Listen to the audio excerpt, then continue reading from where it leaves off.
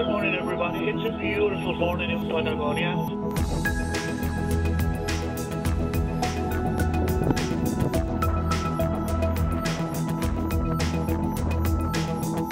Bienvenidos a bordo. Soy el capitán. Los invito a recorrer en mi nave los canales de la Patagonia chilena. Comienza una aventura por los fiordos y hielos milenarios. Tras una noche de viaje aparece imponente ante nuestros ojos el glaciar Amalia. Está ubicado a unos 350 kilómetros al norte de Puerto Natales. Allí nos preparamos para el primer desembarco. Ya en una embarcación más pequeña avanzamos por hielos que se desprendieron y cayeron a las saladas aguas del fiordo. Aquí el mar fue avanzando por estos canales sin salida debido al retroceso de los glaciares. Vamos camino a rutas casi inexploradas. Aquí solo está la tripulación, los pasajeros y la naturaleza. El paisaje es sobrecogedor. Nos detuvimos para contemplar cómo el paso de los años ha ido dejando una huella en sus hielos milenarios. Pues yo ya había venido acá, pero me quedó gustando tanto que volví y la verdad es que es increíble. Es, no hay forma como describirlo, los colores, el paisaje, la tranquilidad, es, es todo hermosísimo. Cada partecita, el sonido cuando se parte una parte del hielo es, es impresionante, es, es imponente. Fíjense ahora en la ola que va a llegar hasta la orilla. Ahí viene, mira, Mira, mira cómo viene la ola. Mira, mira el tsunami. El desprendimiento glaciar se ha convertido en un repetido impresionante, pero a la vez triste espectáculo. Tenemos esta oportunidad fantástica de, de visitar una maravilla, pero indescriptible. Esta masa de hielo que nosotros vamos a visitar durante estos días es una sola que es Campo de Hielo Sur. Hasta este rincón del mundo llegan cientos de turistas cada temporada. Estamos maravillados y somos testigos de la emoción de los viajeros, turistas de todo el mundo que llegan a visitar la Patagonia. Have you ever seen something similar before? Uh, sort of similar, but this is definitely more wild. Never seen anything like this. It's amazing. Just the colors of the landscape and the sounds of the glacier are incredible. Es un lugar lejano al que solo se puede llegar en embarcaciones. Retornamos a la motonave para seguir el viaje por la ruta Cahuéscar. El glaciar Amalia, al igual que todos los otros glaciares, han experimentado un importante retroceso. Ustedes pueden apreciar, por ejemplo, que este tiene una altura aproximada de unos 80 metros. Sin embargo, como ya les decía, por efecto del cambio climático, esta situación ha ido cambiando durante los últimos años.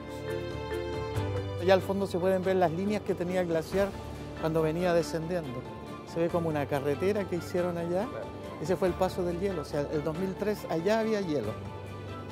Ahora lo que ha hecho el glaciar es que se ha equilibrado más en el frente porque continúa eh, avanzando, pero... O sea, se pierde por un lado, pero, claro, crece pero el lado izquierdo se mantiene, exactamente. Ya. Dejamos Amalia, luego conoceremos el glaciar El Brujo. El clima actúa como un refrigerador natural. Los hielos se ven superficiales, pero bajo el agua tienen una superficie mucho mayor. Mientras la embarcación se desplaza, se puede disfrutar de la gastronomía del lugar. Las apacibles aguas también permiten comer y hacer una vida normal mientras estamos en movimiento. Luego llegamos al glaciar El Brujo. Aquí se navega entre enormes trozos de hielo. Demasiado espectacular, me ha parecido súper lindo. Los felicito porque tienen un país muy hermoso. Es posible descender y llegar hasta los pies del glaciar. What's your impression about this landscape? Um, coming from South Africa, I think it's quite an amazing thing to see, and we everyone here is really privileged to see it, especially since all the icebergs are retreating. So I think it's a really amazing experience for me. El lugar es impresionante, el contacto con la naturaleza es pleno.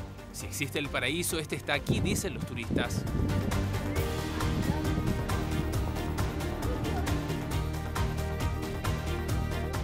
Flora y fauna del lugar es única.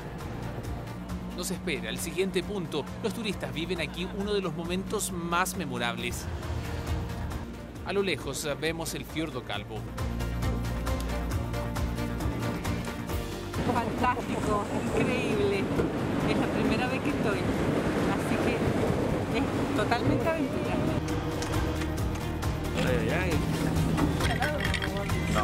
Salud, chiquillos, aquí. Una maravilla, una maravilla de la naturaleza y agradecido por tener la oportunidad de, de estar acá. Salud. Ya era el whisky. ¿Cómo lo encontró? ¿Qué tal? Bien, súper bien. Un manjar comida. Ah, un manjar. La travesía comenzó un martes y terminó un viernes. I'm very impressed by the landscape, and I think it's uh, not only are the glaciers beautiful, but to be able to get close like we are now is really good. It's wonderful. The scenery is wonderful. The ship is great.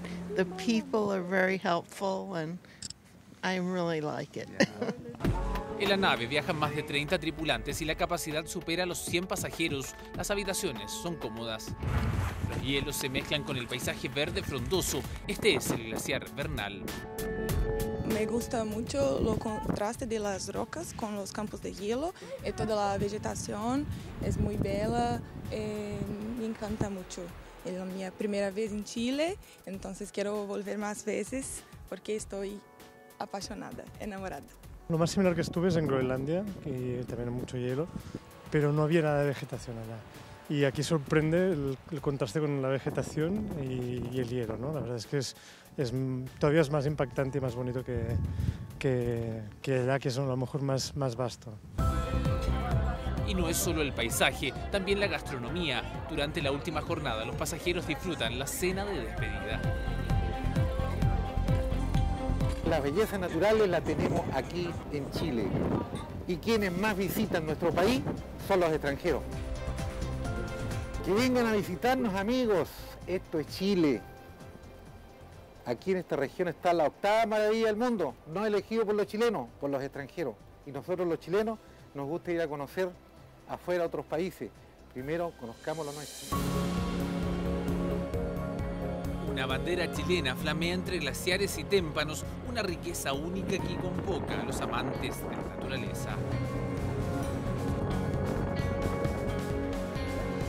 Paraje sencillamente sobrecogedor al lado de aguas turquesas y en medio de una frondosa vegetación en la Patagonia de nuestro país. Desde Campos de Hielo Sur fue el informe de Alan Carvajal y Francisco Moreno para 24 horas.